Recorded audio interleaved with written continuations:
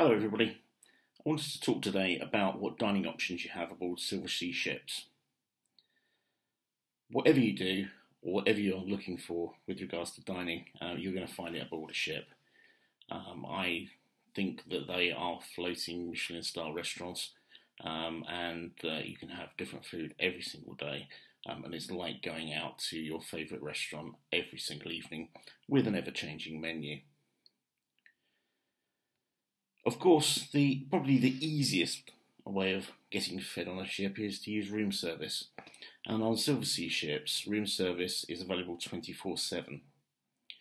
If you want breakfast, then the butler will leave you a menu, and all you have to do is select your items before you retire to bed, uh, leave it outside the door, and select what time you'd like your food delivered and it will miraculously turn up in the morning. That's a great way of starting the day, particularly if you've got an early excursion uh, or you want to get off the ship early, um, or you know you just want a relaxing breakfast on the balcony, and your butler will come in and set up the, uh, your table in the suite or outside on your uh, veranda uh, if that's what you want. As I said, room service is available 24 7. So there is an all-day menu uh, which has a wide variety of international food, and the uh, way of of ordering that is just to pick up the phone. Uh, if it's your butler's working hours, uh, then you can page your butler. Uh, he'll happily take your order for you. Um, outside of your butler's working hours, um, then you'll go through to the duty butler uh, or reception. they'll take your order and it will be delivered to your suite uh, after it has been cooked. If you're also looking for breakfast, um, then you have a variety of different options. Um, you can go to Atlantide uh, on some of the larger ships, you can go to the restaurant on some of the smaller ships, um, or uh, you can go to La Terrazza, uh, which previously has been a buffet restaurant. I should point out that I'm recording this uh, during the COVID pandemic, and cruise ships are not currently operating on the whole. And we're still trying to understand uh, what service might look like uh, once the cruise ship starts sailing again. My experiences are pre COVID, um, so where I'm saying there is buffet service, um, I think it's likely that the buffet service or self service will stop um, as part of the mitigations uh, for uh, the spread of the virus on board a ship. I must say, up to this point, um, I've never seen or had a problem with buffet service on ships. Uh, the uh, service is always impeccable. The cleanliness is without fault. Uh, you can very often see uh, crew members constantly cleaning down, sanitizing areas, um, and making sure that things are at the right temperature. Anyway, um, back to breakfast. Uh, as I say, you could go to La Terrazza, Atlantide, restaurant, um, or room service. Uh, for lunch, if you want to have lunch uh, on board ship, uh, then again, the main restaurant is generally open uh, on the smaller ships. The uh, Atlantide um, on the larger vessels uh, and La Terrazza is open for an international buffet lunch. For dinner, you have a variety of options, some of which are uh, open seating, so you can choose when, how, what, and who you dine with. Um, and I'll contact, uh, I will continue uh, in in this video to tell you which venues uh, operate on which system. And there are also other venues where you need to book in advance and they tend to be the specialty restaurants on Silversea. So let's look at each of the options in turn. Atlantide is a new concept restaurant uh, which has been introduced from the Silver Muse and into Silver Spirit once it was refurbished a couple of years ago.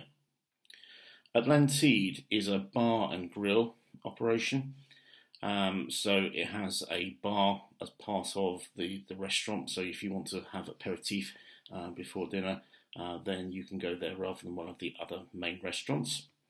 Um, and the uh, venue itself um, is open for breakfast, lunch, and dinner. Uh, in breakfast, it's a la carte. Uh, for lunch, again, it's uh, a the, the sort of main menu operates, um, and you will get a different variety of lunch options every single day. And in the evening, um, it turns into a grill steakhouse type venue. Um, but the thing to note here um, is that the uh, menu alternates um, between two different menus uh, with various options changing. Um, so the, the menu tends to stay on for three to four nights, um, and then they swap to the different one, and then swap back again in another three to four nights. If you're on a long voyage, uh, then obviously you may get experience those menus uh, uh, um, um, several times. Um, if you're on a shorter voyage, then you'll probably only see the the, the, the Switch once. Um, both are fantastic, um, great uh, options of steaks, uh, different variety of uh, appetizers, um, and uh, different options if you're a pescatarian or vegetarian. Um, and uh, they, they will always accommodate your needs that you if you if you have particular dietary uh, requirements. Indochine uh, is uh, on Silver Muse and Silver Spirit and is an Asian inspired restaurant. Um, I've really enjoyed dining in this venue. Um, in fact, I would say it's probably uh, my favourite restaurant on board a Silversea ship. Um, I love Asian food. Uh, if you enjoy that too, then I'm sure you would love it. Um, it's a fairly relaxed atmosphere. Um, you will get full wine service um, and uh, lots of different options to to eat from. Um, it's only available at dinner, and uh, you will have an opportunity again, a bit like uh, Atlantide, uh, of having a uh, switching menu uh, every three to four days. Um, so there will be a variety of different things that you can eat. Um, but to be honest, um, everything is fantastic. Um, so even if you're on a fairly long voyage, um, I'm sure you will have different things to eat, um, even if they flip the menu several times. What I also like about Indochine um, is, as well as the wine service, um, they have a wide selection of Asian beers. Um, so if you like a beer uh, with your curry or other Asian food, um, then they really do have a great selection uh, from China, Japan, Thailand, Indonesia, uh, India, um, you know, if you've got a favourite Asian beer, then they pretty much will probably have it on board. Um, so it's well worth checking out. Um, and uh, this is also different from Kaiseki and Seishin, uh, which I'll come to you on later in this video. Kaiseki is the specialist Japanese restaurant that you'll find aboard Silver Muse, and it will be on the new ships Silver Moon and Silver Dawn. Um, this venue operates uh, at dinner um, and also operates a uh, reduced lunchtime menu uh, when you can get sushi and sashimi uh, served to you. In the evening, there's a fixed menu, uh, which there is an additional dining fee, and uh, you will get a, a, a set menu built around the the kind of Japanese fusion type cookery. There is a double teppan uh, grill, um, so the food will be prepared in front of you. Um, you do have a choice of sitting at the teppan grill um, directly in front of the chefs, um, or they have other seating uh, surrounding the, the grill um, if you'd prefer not to be so close to the action. The only option that you have is uh, whether you want a meat or a fish or a vegetarian uh, option, um, and that really just defines uh, the, the, the kind of selections that you get. Um, it's really tasty food. Um, you'll get served a glass of sake as you arrive, if that's your thing, um, and is a really nice experience to have. But as I say, this is one of the few venues on board uh, where there is an additional uh, dining fee um, if you choose to dine there. Uh, if you don't, then there's plenty of other options, and Indochine uh, will get you Asian fusion type food uh, if uh, that's what you're looking for each evening. La Dame is the specialist French restaurant on board, and again is one of the venues where there is an additional dining fee.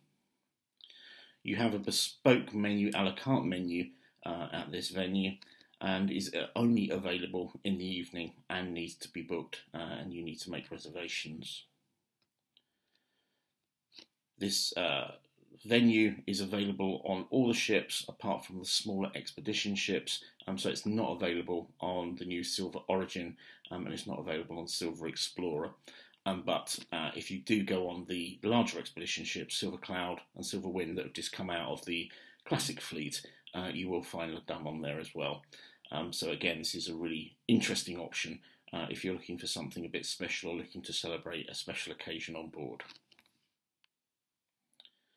La Terrazza is the uh, open all day um, uh, for lunch, breakfast, and dinner. Um, it does close between uh, the various service times, um, so although I say it's open all day, it strictly isn't open all day. Um, you may be uh, used to some of the very large ships having 24 uh, hour restaurants that never close. Um, these will close and have set meal times.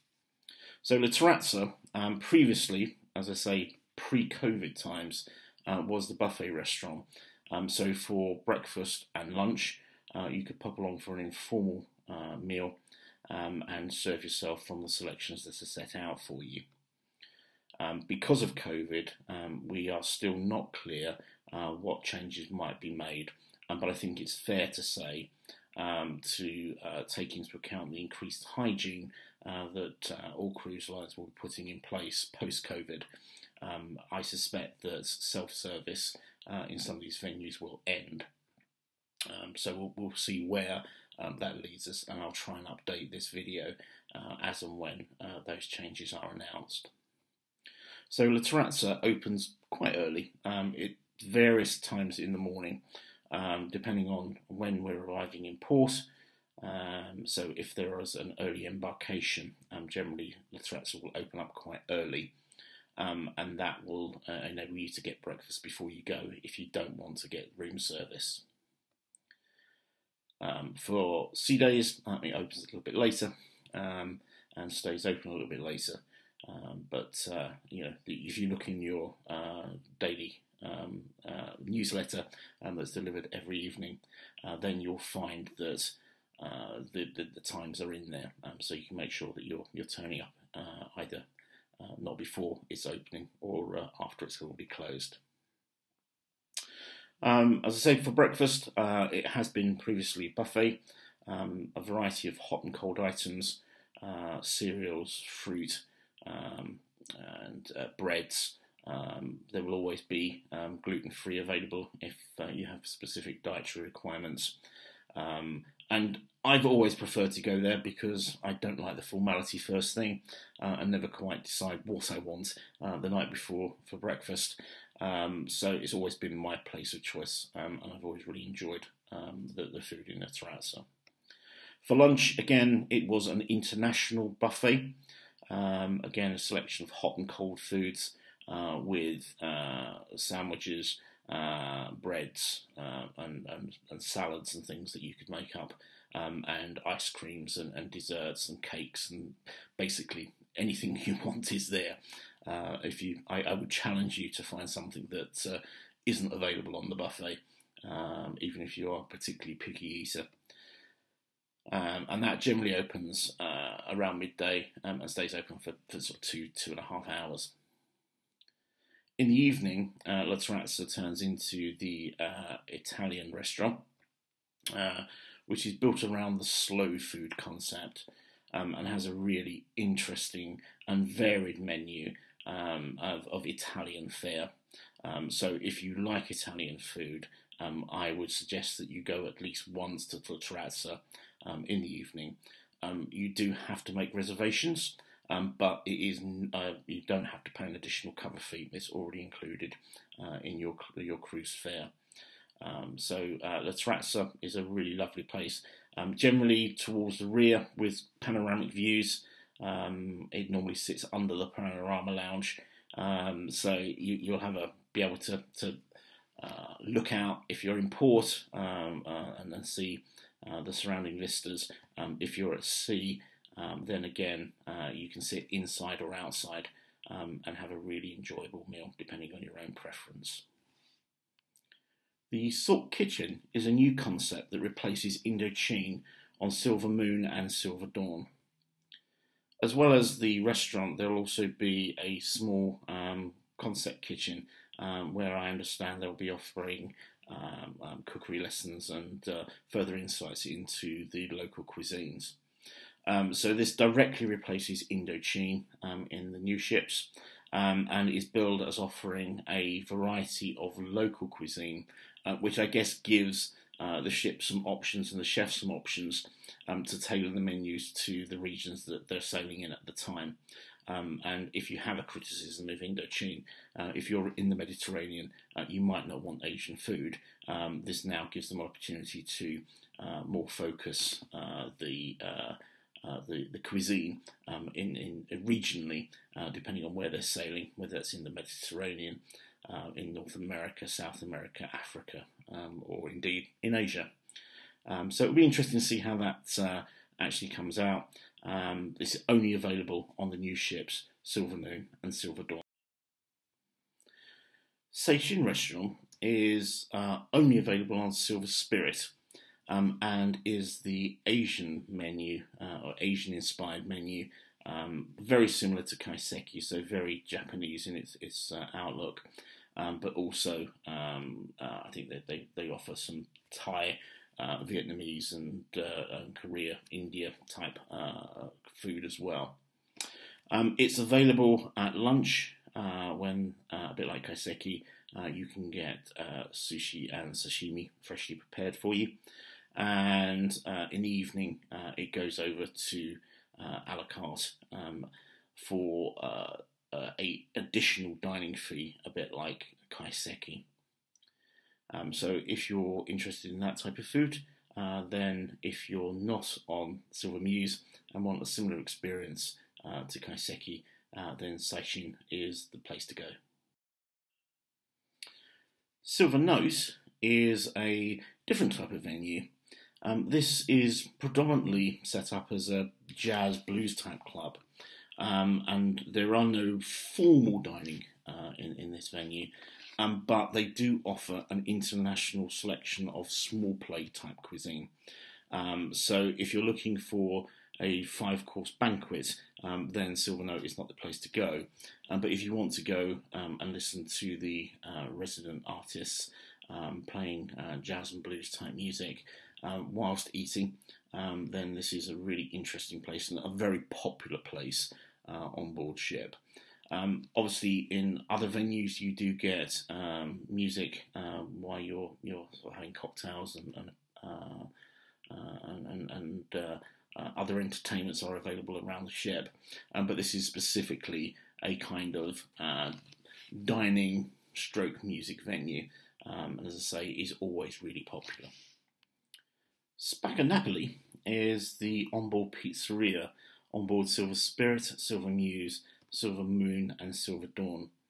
Um, named after the famous uh, street in Naples uh, where pizza was born, uh, you will find a uh, selection from uh, late morning. Um, I think it opens generally around sort of 11, 11.30 uh, through to evening service um, um, sort of closing uh, 9, 10 o'clock in the evening, uh, offering a variety uh, of pizza and side uh, dishes. Um, all authentic dough. Um, they've got pizza ovens on board. Um, you know the, the, the, proper equipment to give you a, a authentic experience of pizza, um, and it's a really nice place to go uh, if you want to sit outside if it's a warm evening, um, have an informal meal uh, with your loved ones, um, and uh, just enjoy you some traditional Italian food. As I say, it's only available on Silver Spirit, uh, Silver Muse, Silver Dawn, and Silver Moon. The grill on Silversea ships is poolside. Um, so this offers um, food uh, from lunch uh, through to dinner uh, with a short break in between and on some ships uh, they will also offer a light breakfast, uh, a kind of early risers breakfast uh, in this area too.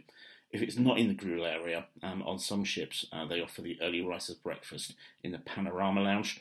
Um, so if you are up really early, which I never am, uh, and you're desperate for something to eat, um, and La Terrazza, uh, which is generally the first main restaurant to open, isn't open, um, then go and explore those venues to find something to eat. So the Pool Grill um, operates uh, during the day, uh, offers the traditional things that you would probably find in the Pool Grill uh, burgers, hot dogs, uh, steaks, salads, uh, ice cream, uh, or should I say gelato because it's an Italian based line, and all the, the kind of things that you just want to sit down and have some food whilst you're relaxing by the pool. In the evening, um, it becomes a uh, reservation uh, restaurant, um, so you do need to make a reservation, um, and operates as a hot rocks experience. Um, so this is where you'll cook your own food. Um, they will prepare uh, your own starters. Um, they will serve you drink and uh, wine service and all the rest of it. but for your main course, uh, that will always come up with a volcanic rock, uh, which I think has been heated to 400 degrees or some very high temperature. And uh, your uh, various meat or fish uh, will be delivered to you, um, and uh, you you're the chef for the evening. Um, so that always comes with an accompaniment of a baked potato um, and some grilled vegetables. Um, and again, it's a really nice experience, something a bit different uh, from the main uh, restaurants on board um, if you're looking to eat uh, outside uh, one evening. Um, so do give it a try. And finally, um, the last venue on board uh, where you'll be able to eat is the restaurant. Now, on these uh, these smaller ships, um, the uh, Atlantide uh, stroke Indochine stroke uh, Salt Kitchen um, is not sustainable. So uh, rather than having two venues, they have one main restaurant. So this is the main dining room experience uh, on the smaller ships. Um, so this is on Silver Explorer, Silver Cloud, Silver Wind, Silver Origin, Silver Shadow, Silver Whisper. Um, and uh, Silver Wind, if I've not said that already. And uh, this is open uh, for breakfast, lunch, and dinner. Um, a bit like uh, I said with regard to Atlantide, um, in the breakfast service um, it's a la carte uh, and a wide variety of um, breakfast items. Uh, at lunch, uh, there's a revolving menu um, of international cuisine, and in the evening, again, it's a revolving menu. I think I tried to count them. Um, I think there's 14 or 16 uh, different menus um, that will revolve through uh, your your uh, voyage. Um, so if you're on a uh, voyage that's less than 16 nights, uh, 14, 16 nights, um, you'll probably never experience uh, a repeated menu. Uh, for longer voyages, you will see at some point you go back to menu one again, which is no bad thing because there's some really delicious items on there. And what I would say um, is that the main dining room um, does seem to give the uh, chefs a bit more leeway um, to change some of the items on there. So I'm guessing what they have available, either what they've been able to procure in port, if they've been able to bring in fresh fish uh, or fresh vegetables. Uh, from the port that you've just visited, um, then very often you'll find those on the menu uh, that evening or, or, the following evening. Um, but also on the longer voyages, um, you know what's still left in the larder. Um, so uh, you you might find uh, that uh, the menu uh, becomes a, a, little bit more repetitive at the end of a, a, sort of 14, 18 night um, voyage or longer um, than it would on a, seven night Mediterranean. Whatever I say, um, you know the food on board is always fantastic. The wine service, in particular, um, in all venues, is fabulous.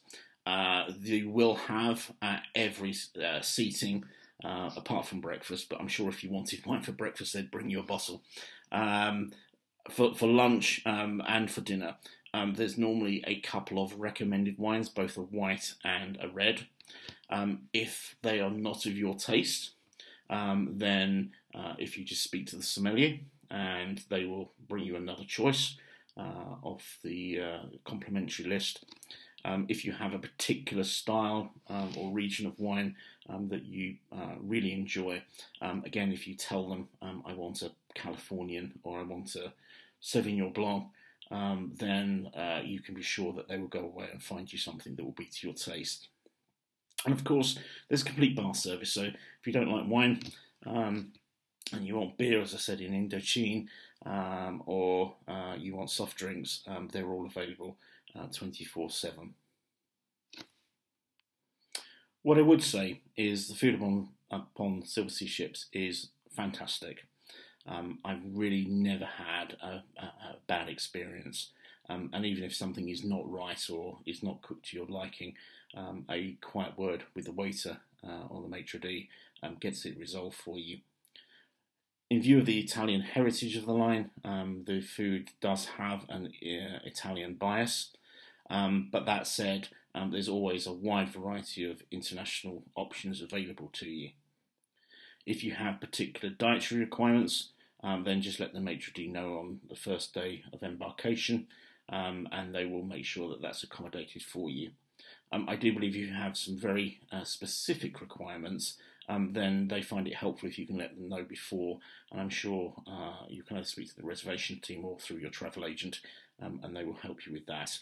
Uh, and particularly if you want things like kosher food, um, then uh, they, will probably do that as a special order.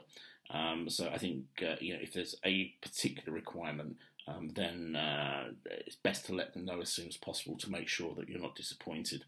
But on board, um, if you don't like salt on your meal, um, you know you want uh, uh, vegetarian, uh, vegan, whatever that might look like, um, or if you're celiac and require gluten-free options, um, then just let them know.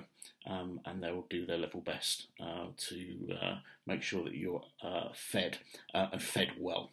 Um, as I, as, as often is said, uh, when you go on a cruise ship. Um, you arrive as a passenger and leave as cargo, um, and uh, you know there's always a, uh, a, a thing about perhaps taking um, some larger sized clothes uh, for the last few days of your cruise because um, you'll never go hungry.